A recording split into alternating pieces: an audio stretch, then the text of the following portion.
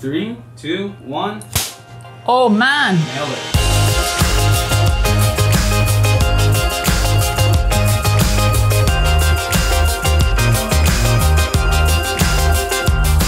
Hi Bold Bakers, my Bigger Bolder Baking Cookbook is all about helping anyone to bake with confidence anytime, anywhere.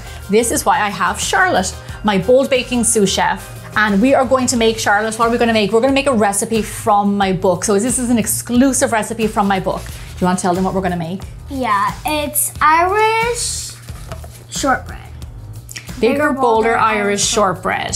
So this is a recipe that I grew up on in Ireland. It's a really, really lovely buttery cookie. And you said you love shortbread, right, Charlotte? I love Charlotte loves shortbread. So that's why when we went through the book, this is the one that we stuck with. So this is from chapter one, and chapter one from the book is, do you remember what it is? It is bowl and wooden spoon. There you go, good girl.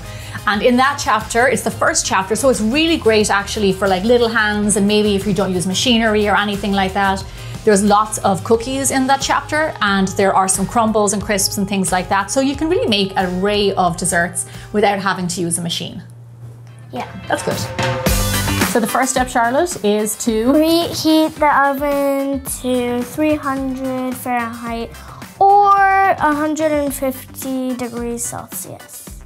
So the good thing about this recipe is it can be made in a traditional oven or what we're going to do today is make it in a toaster oven. Loads of people don't have big ovens and they maybe only have toaster ovens. And I don't know if you know this, but my kitchen, Charlotte knows, my kitchen's very small, isn't it, Charlotte? Isn't it smaller in real life than it looks like on TV? So small. So small.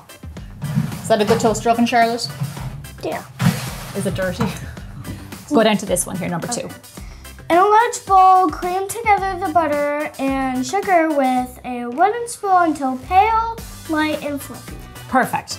Now, our butter here, see that word? This is really important. Softened. Softened. When it's written in a recipe to use softened butter, you have to use softened butter. Yeah. Yeah, It's really important. it is really important. It's so important. Because it, you see, when you're doing this by hand, Charlotte, you have to have your ingredients nice and soft so you're able to mix it. If it's too hard, you're not going to be able to mix it by hand. yeah. And then what are you going to do? I Have to churn it. Yep, we'll have to use a hand mixer or something. Okie dokie, so here's what we're gonna do. I'm gonna add in the butter, and then what I'm gonna do is get you to measure the sugar. So how much sugar do we need? We need a half a cup. Half a cup. So I've got a quarter of a cup here, and we're gonna do two of those. Yeah. Lovely. Now, Charlotte, how strong are you? Show me your muscles.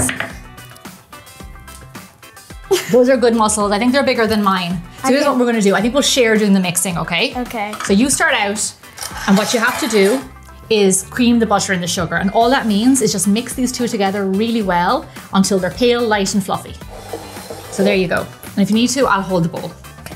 So creaming is a very basic, actually one of the first baking methods that you would learn. Something that I learned as a child because we made a lot of cookies and we would make um, buns and things like that. So you'd have to cream together the butter and the sugar. So the whole entire chapter, the first chapter is a lot of this. So it's a great kind of introduction to baking and it's kind of, it's a good way to kind of start out and then build up towards the end where some of the desserts might be a little bit harder. This will be Charlotte. Okay, I'll give it a go now. Watch how strong I am. Oh man, I'm so strong. Okay, now you go. I really can. There you go. That looks pretty smooth. That's perfect. Good woman. You did awesome. Thank you. So Charlotte, what's our next step? Add the flour and cornstarch. Mix very lightly until you have a smooth dough. Gorgeous. I'm gonna give you that guy. Be able to do that. if you want, I'll level that off for you to make Yeah. it better. Because you always level off your spoons when you're baking. You don't have to worry about getting flour on the floor because Kevin cleans up after me. Yeah, I'll make it dirtier. I didn't say that. she did. In you go. Lovely. One more. Gorgeous. Now, how much uh, of the cornstarch? Cornstarch, one cup. One cup. Just one cup. Just so, one cup. just one cup.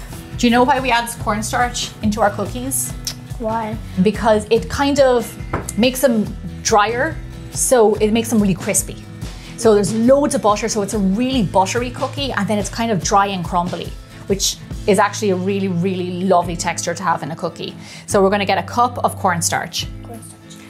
So let's have a look, Charlotte. Oh, so we added mixing. in a lot of mixing. We added in our flour, we added in our cornstarch.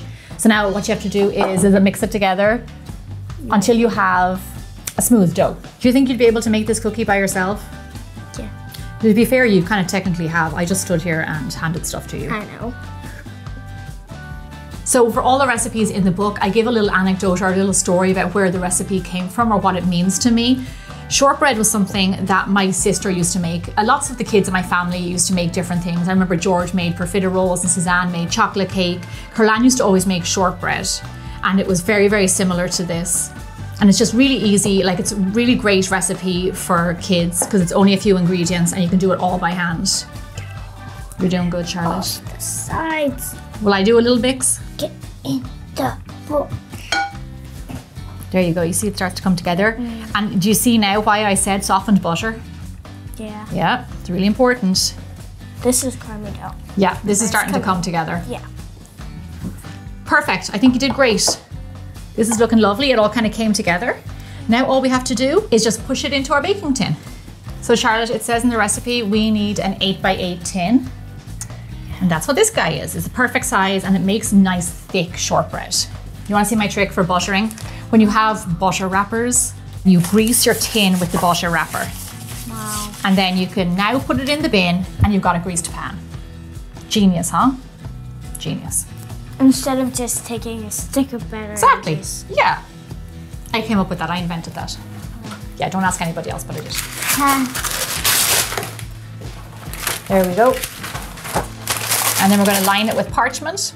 What is our next step? Where are we at? We're at four. Press the dough into the pre-prepared pan. Okay, lovely. Charlotte, if you wouldn't mind, get the dough into the pan there.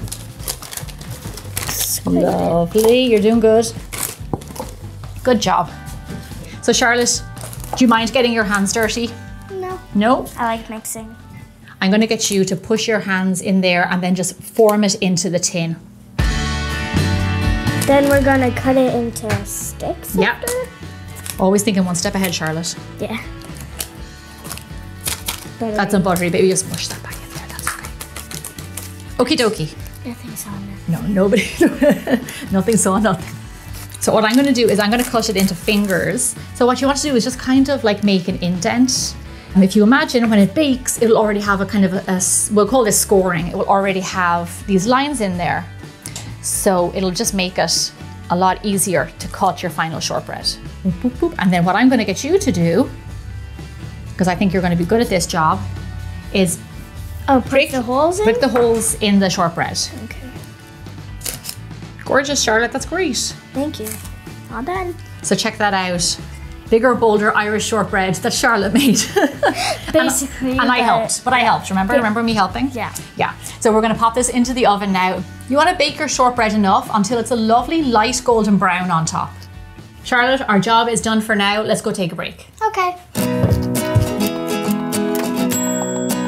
Ta-da! Wow. Look how gorgeous that is. Do you notice that it kind of puffed up a little bit? Yeah. And if you push down on it, it's kind of firm underneath your finger. Nice.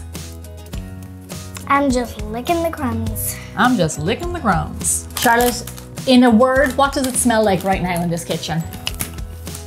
Baked butter. Baked butter. Is exactly what it smells like. You see the way our lines stayed?